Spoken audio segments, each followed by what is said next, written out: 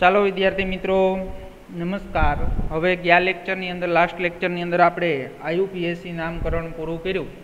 તો હવે આજના લેક્ચરની અંદર આપણે દસ પોઈન્ટ ત્રણ મોસ્ટ આઈએમપી છે. આ ટોપિક પણ જેડબલઈ અને નીટ માટે મોસ્ટ આઈએમપી છે. તો એની અંદર આપણો ટોપિકનું નામ છે સી એક્સ બંધનો સ્વભાવ. તો હવે આપણે હેલો આલ્કેન અને હેલોએરિન સંયોજનો છે, તેમાં આપણે સી એક્સ બંધનો જે સ્વભાવ છે, એની આપણે વાત કરવાની છે. તો બધા જ વિદ્યાર્થી મિત્રોને ખબર છે કે કાર્બન પરમાણુ કરતાં, કાર્બન પરમાણુ, તો કાર્બન પરમાણુ કરતાં પરમાણુ કરતાં, હેલોજન પરમાણુની હેલોજન પરમાણુની વિદ્યુત ઋણતા હેલોજન પરમાણુની વિદ્યુત ઋણતા વિદ્યુત ઋણતા. તો હેલોજન પરમાણુની વિદ્યુત ઋણતા વધુ હોવાથી વધુ હોવાથી વધુ હોવાથી આલ્કાઇલ હેલાઇડ સંયોજનો, આલ્કાઇલ આલ્કાઇલ હેલાઇડ સંયોજનો, આલ્કાઇલ હેલાઇડ સંયોજનો કેવા બનશે? તો આપણે અગિયારમા ધોરણની અંદર ભણી ગયા કે આલ્કાઇલ હેલાઇડ સંયોજનોમાં સંયોજનોમાં કાર્બન અને હેલોજન જે બંધ છે, તો કાર્બન અને હેલોજન બંધ. હેલોજન હેલોજન બંધ. કેવો છે વિદ્યાર્થી મિત્રો? ધ્રુવીય હોય છે. કેવો છે? ધ્રુવીય હોય છે. તો બધાને ખબર છે. તો આપણે એની અંદર વાત કરીએ કે ભાઈ આ હેલો આલ્કેનની વાત કરીએ, તો આ કાર્બન સાથે હેલોજન પરમાણુ જોડાયેલો છે. તો એની અંદર બધાને ખબર છે, એક કાર્બનનો ઇલેક્ટ્રોન અને એક હેલોજનનો ઇલેક્ટ્રોન ભાગીદારી કરી અને સહસંયોજક બંધ જે બનાવેલો છે. તો એની અંદર જે બંધ બન્યો છે, એની અંદર કાર્બન કરતાં હેલોજન પરમાણુની વિદ્યુત ઋણતા વધુ હોવાના કારણે. આ જે ઇલેક્ટ્રોન યુગ્મ છે, એ કોના તરફ આકર્ષાયેલા હોય? તો બધાને ખબર છે, હેલોજન પ્રત્યે આકર્ષાયેલા હોય છે. તો એ હેલોજન પ્રત્યે આકર્ષાયેલા હોય છે, તો એની અંદર કાર્બન છે એ આંશિક કેવો વીજભાર ધરાવે? ધન વીજભાર. અને હેલોજન છે એ આંશિક કેવો વીજભાર ધરાવે? ઋણ વીજભાર ધરાવે. તો જે કાર્બન અને હેલોજન વચ્ચેનો બંધ જે બંધ છે, એ બંધ કેવો બંધ છે? તો એ કેવો બંધ છે? ધ્રુવીય બંધ છે. કેવો બંધ છે? ધ્રુવીય. અને આ જે સંયોજનો છે, તો એ સંયોજનોને કેવા સંયોજનો કહેવાય? ધ્રુવીય સંયોજનો. કેવા સંયોજનો કહેવાય? ધ્રુવીય સંયોજનો કહે છે. તો વિદ્યાર્થી મિત્રો, આના કારણે શું થશે? તો આના કારણે છે એ ધ્રુવીયતા ઉત્પન્ન થાય છે. શું ઉત્પન્ન થાય છે? ધ્રુવીયતા ઉત્પન્ન થાય છે. હવે આપણે વાત કરવી છે ખાસ કે ભાઈ સત્તરમો સમૂહ છે. તો બધાને ખબર છે? F C L B R અને આય ફ્લોરિન ક્લોરિન, બ્રોમિન અને આયોડિન. તો બધાને ખબર છે કે ભાઈ જો તમે સમૂહમાં ઉપરથી નીચે તરફ જાશો, તો શું થશે? તો ઉપરથી નીચે તરફ જતા છે પરમાણીય કદ. શું થાય? વધે. તો પરમાણીય કદ છે એ વધશે. તો પરમાણીય કદ વધશે, તો એની અંદર શું થશે? તો કે ભાઈ સી એક્સ વચ્ચેની જે બંધ લંબાઈ છે, તો એ બંધ લંબાઈમાં પણ શું થાય? વધારો. શું થશે? બંધ લંબાઈમાં છે. એ બંધ લંબાઈમાં શું થાય? વધારો. હવે જો ખાસ વિદ્યાર્થી મિત્રો, તમને એમ કે કે ઉદાહરણ આપું તમને. C H three F fluoromethane. Chloromethane. C H three CL પછી લખું bromomethane. C H three BR અને પછી લખું C H three I iodomethane. હવે જો તમને આ જે ચાર સંયોજનો આપ્યા એમાં તમને એમ કે કે ભાઈ બંધ લંબાઈ છે, તો એ બંધ લંબાઈ કોની વધારે હોય? તો તમને બધાને ખબર છે કે ફ્લોરિન કરતાં નીચે જેમ જશો તેમ કદ વધશે. કદ વધે એટલે એની શું થાય? બંધ લંબાઈમાં વધારો થાય. એટલે સી એચ થ્રી આઈની અંદર કાર્બન અને આયોડિન વચ્ચે જે બંધ લંબાઈ હોય સૌથી વધારે હોય. એના કરતાં ઓછી બ્રોમિનમાં, એના કરતાં ઓછી ક્લોરિનમાં અને એના કરતાં ઓછી ફ્લોરિનમાં. તો વિદ્યાર્થી મિત્રો, ખાસ યાદ રાખજો, આ બંધ લંબાઈનો ક્રમ છે એ મેં દર્શાવેલો છે. તો બંધ લંબાઈનો જે ક્રમ દર્શાવેલો છે, તો એની અંદર છે બંધ લંબાઈ, બંધ એન્થાલ્પી અને છે એ બંધની શું છે? ધ્રુવીયતા છે એ આપને કોષ્ટકમાં આપેલી છે. હવે જુઓ, બંધ લંબાઈ બધાને ખબર પડી ગઈ? હવે બંધ એન્થાલ્પીની હું વાત કરી દઉં તમને. તો ત્યાર પછીની વ્યાખ્યા પણ આપું, જો ન આવડતી હોય તો અગિયારમા ધોરણની અંદર આવી ગયું આપણે. બંધ એન્થાલ્પી. કોને કહેવાય બંધ એન્થાલ્પી? તો કે જે બંધ તોડવા માટે, જે બંધ તોડવા માટે, તોડવા માટે આપવી પડતી ઉર્જાને, આપવી પડતી ઉર્જાને. તો આપવી પડતી ઉર્જાને શું કહેવાય? ઉર્જાને બંધ એન્થાલ્પી, ઉર્જાને બંધ એન્થાલ્પી કહે છે. શું કહે છે? બંધ એન્થાલ્પી. તો એની અંદર, વિદ્યાર્થી મિત્રો, આગળ પણ આપણે અગિયારમા ધોરણની અંદર ભણી ગયા કે બંધ લંબાઈ સાથે શું સંબંધ હોય બંધ એન્થાલ્પીનો? તો બંધ લંબાઈ સાથે બંધ એન્થાલ્પીનો સંબંધ છે એ કેવા પ્રમાણની અંદર હોય? વ્યસ્ત પ્રમાણની અંદર હોય એટલે વન અપોન છે એ શું થશે? તો વન અપોન બંધ એન્થાલ્પી. શું થશે?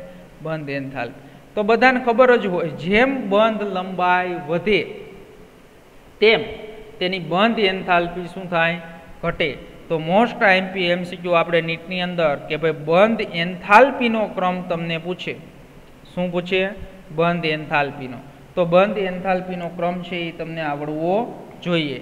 તો જો બંધ એન્થાલ્પીનો ક્રમ પૂછીએ તો એની અંદર ઉદાહરણ આપું. C H three F C H three F પછી CL C H three BR અને સી એચ થ્રી આઈ હાલો.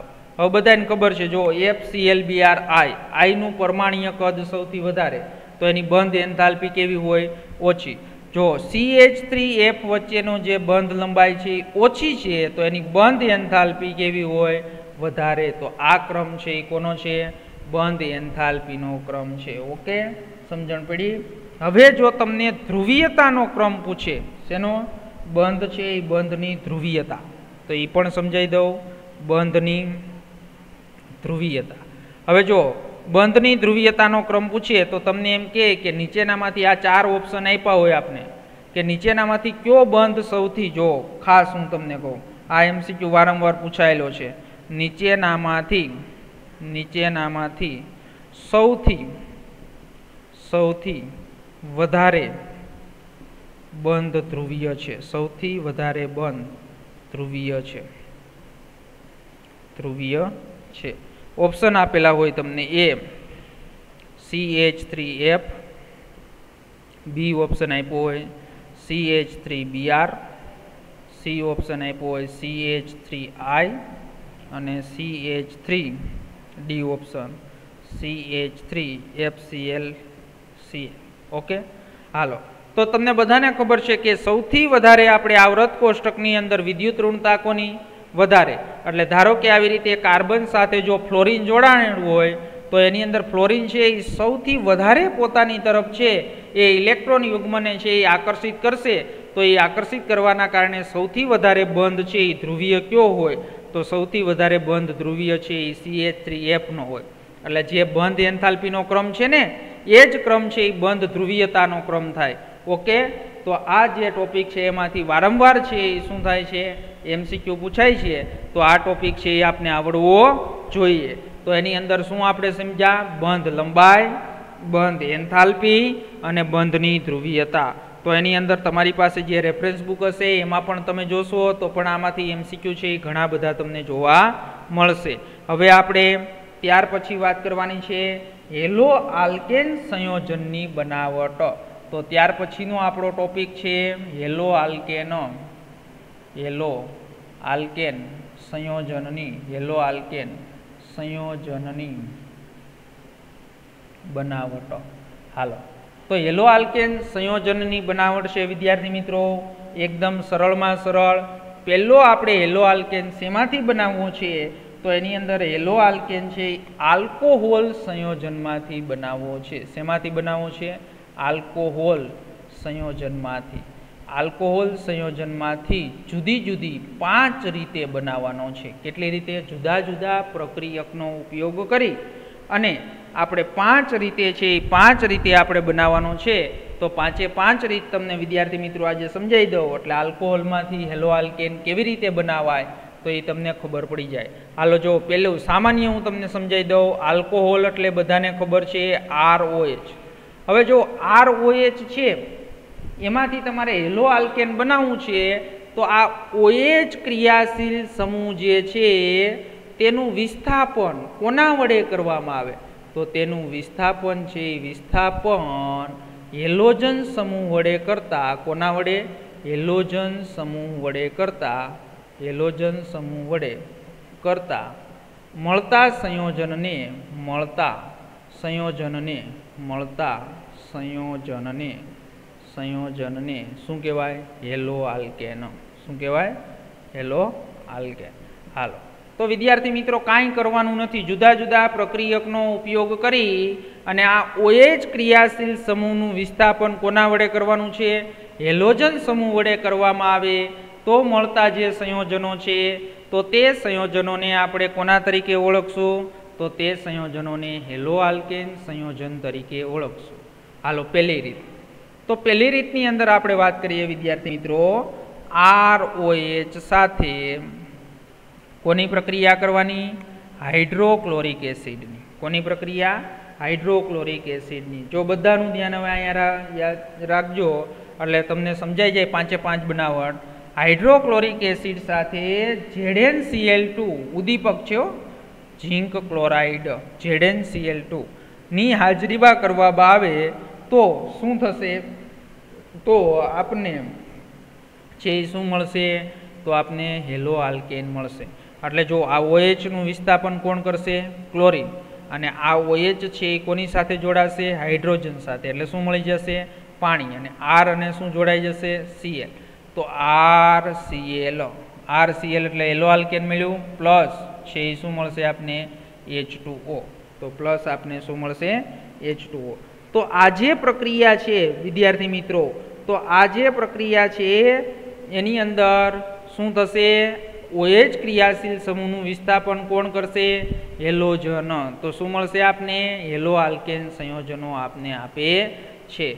સમજણ પડી ગઈ? બીજું કે આ જે પ્રક્રિયા છે ટેક્સ્ટબુકમાં નથી આપ્યું, વધારે હું સમજાવું છું તમને કે આલ્કોહોલ છે. જો પ્રાથમિક આલ્કોહોલ કરતાં દ્વિતીયક આલ્કોહોલની પ્રતિક્રિયાત્મકતા વધારે હોય દ્વિતીયક કરતાં તૃતીયકની પ્રતિક્રિયાત્મકતા વધારે. એટલે તૃતીયક આલ્કોહોલની પ્રતિક્રિયાત્મકતા સૌથી વધારે, એનાથી ઓછી દ્વિતીયકની પ્રતિક્રિયાત્મકતા અને એના કરતાં છે એ ઓછી કોની થશે? પ્રાથમિક છે. એ પ્રાથમિકની પ્રતિક્રિયાત્મકતા છે એ ઓછી હોય છે. બીજું કે આ જે વાત આપણે કરી, તો આ જે છે એ આપણે આલ્કોહોલ ચેપ્ટરની અંદર પણ આવશે. શું આવશે? આલ્કોહોલ ચેપ્ટરની અંદર. તો એની અંદર આ જે પ્રક્રિયા છે, એ પ્રક્રિયા આપને ખબર હોવી જોઈએ. તો જો આ પ્રક્રિયાનો જે ક્રમ છે, તો એ ક્રમ તમને છે એ ખબર હોવી જોઈએ. હાલો, તો એની અંદર તૃતીયક આલ્કોહોલ છે, તો એ તૃતીયક આલ્કોહોલની પ્રતિક્રિયાત્મકતા કેવી હોય? તો તૃતીયક આલ્કોહોલની પ્રતિક્રિયાત્મકતા વધારે હોય. એના કરતાં ઓછી દ્વિતીયકની અને એના કરતાં ઓછી પ્રાથમિકની. તો આ વસ્તુ અત્યારે અહીંયા આપણી ટેક્સ્ટ બુકમાં નથી આપી. શું કા નથી આપી? કારણ કે આની આ જ વસ્તુ પાછી આપણે ક્યાં ભણવાની છે? તો આના આગળનું ચેપ્ટર જે આલ્કોહોલ છે, તો એ આલ્કોહોલ ચેપ્ટરની અંદર પાછું ફરીથી આવશે. એટલે અહીંયા આપણે એની વધારે છે એ વાત કરતા નથી. કારણ કે એની અંદર આપણે ફરીથી પાછો અભ્યાસ કરીશું. હાલો. બીજી પ્રક્રિયા. તો આપણે અહીંયા પ્રક્રિયક હાઇડ્રોક્લોરિક એસિડ લીધો હતો. પણ બીજી પ્રક્રિયા આપણે જોઈએ. તો બીજી પ્રક્રિયાની અંદર આપણે શું કરવું છે? તો બીજી પ્રક્રિયાની અંદર આર ઓએચ શું લેવું છે આપણે? આલ્કોહોલ. એની સાથે સોડિયમ બ્રોમાઇડ સોડિયમ બ્રોમાઇડ એટલે એનએબીઆર અને કોની હાજરીમાં? તો સલ્ફ્યુરિક એસિડની હાજરીમાં જો પ્રક્રિયા કરવામાં આવે, તો પણ હેલો આલ્કેન સંયોજનો આપને આપે છે. જો ઓએચનું વિસ્થાપન કોણ કરશે? બીઆર એટલે તરત જ ખબર પડી જાય તમને શું મળી જાય? આર બીઆર એટલે એલો આલ્કેન મળ્યો પ્લસ હવે જો અહીંથી એક હાઇડ્રોજન તમને બધાને ખબર છે એચ ટુ એસઓ ફોર હોય એસિડ છે એટલે એચ પ્લસ આયન આપે. તો એચ પ્લસ આયન છે આ ઓએચ સાથે જોડાઈ જશે. એટલે પ્લસ આપને શું મળશે? એચ ટુ ઓ તો હવે અહીંયા વધ્યું શું? કે ભાઈ એચ એસઓ ફોર માઇનસ વીધું. એક એચ પ્લસ પ્રોટોનનું દાન કર્યું. એટલે આ ઓએચ સાથે જોડાઈને પાણી બનાવી દીધું. હવે આ એચ એસઓ ફોર માઇનસ મળ્યું અને એક ઓલો કોણ છે? એને પ્લસ તો એને પ્લસ જોડાઈને પ્લસ શું આપશે આપને? N A H SO four એટલે આને શું કહેવાય? સોડિયમ હાઇડ્રોજન સલ્ફેટ તો શું મળ્યું આપને? સોડિયમ હાઇડ્રોજન સલ્ફેટ આપે છે. ઓકે? તો બીજી પ્રક્રિયા આલ્કોહોલની સોડિયમ બ્રોમાઇડ સાથે સલ્ફ્યુરિક એસિડની હાજરીમાં પ્રક્રિયા કરવામાં આવે. તો પણ આપને શું આપે છે? હેલો આલ્કેન આપે છે. આવડશે બધાને? હાલો, ત્યાર પછીની પ્રક્રિયા. ત્રીજી પ્રક્રિયા. તો ત્રીજી પ્રક્રિયા છે આલ્કોહોલ આર ઓએચ તો આર ઓએચ સાથે કોની પ્રક્રિયા કરવી છે? તો મારે અહીંયા એસઓ સીએલ ટુની પ્રક્રિયા કરવી છે. એસઓ સીએલ ટુ એટલે એને શું કહેવાય? Thionyl chloride. શું કહેવાય એને? Thionyl chloride. તો થાયોનિલ ક્લોરાઇડ જે પ્રક્રિયા છે એ પ્રક્રિયા મોસ્ટ આઈએમપી છે. જો સીએલનો એક પરમાણુ અહીંયા ઓએચનું શું કરશે? વિસ્થાપન. એટલે બધાને ખબર છે, શું મળી જાય? આર સીએલ પ્લસ હવે અહીંથી ઓક્સિજન છે એ આ એસઓ સાથે જોડાશે, એટલે શું બની જશે? એસઓ ટુ એટલે સલ્ફર ડાયોક્સાઇડ વાયુ બનશે. શું બનશે? સલ્ફર ડાયોક્સાઇડ વાયુ. અને હજી એક અહીંયા હાઇડ્રોજન વિધો એ ક્લોરિન સાથે જોડાશે, એટલે બીજો વાયુ મળશે હાઇડ્રોજન ક્લોરાઇડ વાયુ. કયો મળશે? હાઇડ્રોજન ક્લોરાઇડ વાયુ. તો વિદ્યાર્થી મિત્રો, આ જે ત્રીજી પ્રક્રિયા તમે જે અભ્યાસ કરી રહ્યા છો, એ મોસ્ટ આઈએમપી છે અને સાથે સાથે કે આ પદ્ધતિ છે, એ પદ્ધતિનો શું છે? ફાયદો છે. કયો ફાયદો છે? તો આ પદ્ધતિનો વિદ્યાર્થી મિત્રો એ ફાયદો છે કે આ ઉપનિપજ છે અને આપણી આ મુખ્ય નિપજ છે. આ છે એ શું છે? મુખ્ય નિપજ. અને જ્યારે આ જે છે એ શું છે? આપણી ઉપનિપજ અથવા ગૌણ નિપજ. તો ઉપનિપજ છે એ કેવા સ્વરૂપે છે? વાયુ સ્વરૂપે છે. તો વાયુ સ્વરૂપે હોવાના કારણે શું થશે? તો વાયુ સ્વરૂપે હોવાના કારણે તેનું બાષ્પીભવન થઈ જશે.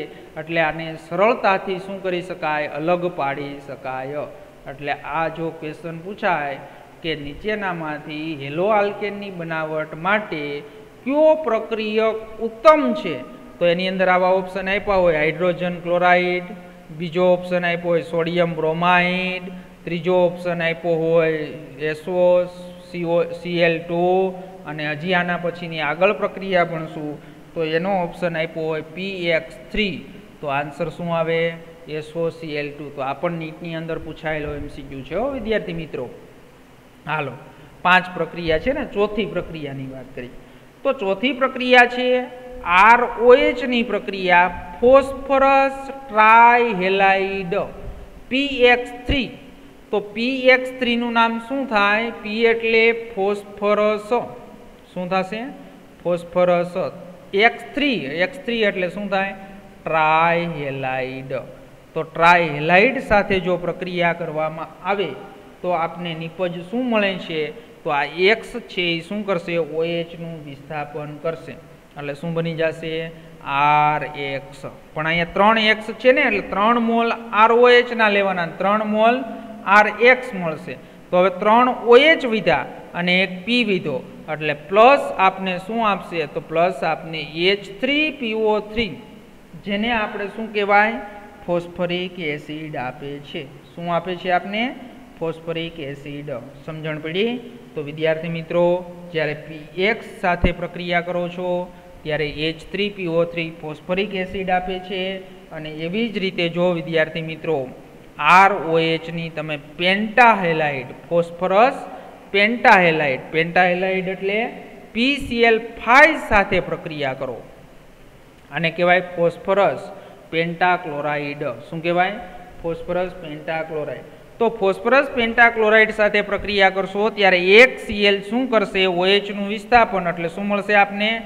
આર સીએલ હવે જો પાંચ હતા, એમાંથી ચાર વિધા, તો એમાંથી એક છે એ શું થશે? તો એક સીએલ છે એ આ હાઇડ્રોજન સાથે જોડાશે. એટલે પ્લસ છે એ આપણે શું મળ્યું? Hydrochloric acid. તો હવે શું વિધું? પી પછી ઓક્સિજન અને ત્રણ સીએલ એટલે મળ્યું પી ઓ સીએલ થ્રી તો પીઓ સીએલ થ્રીનું નામ શું થાય?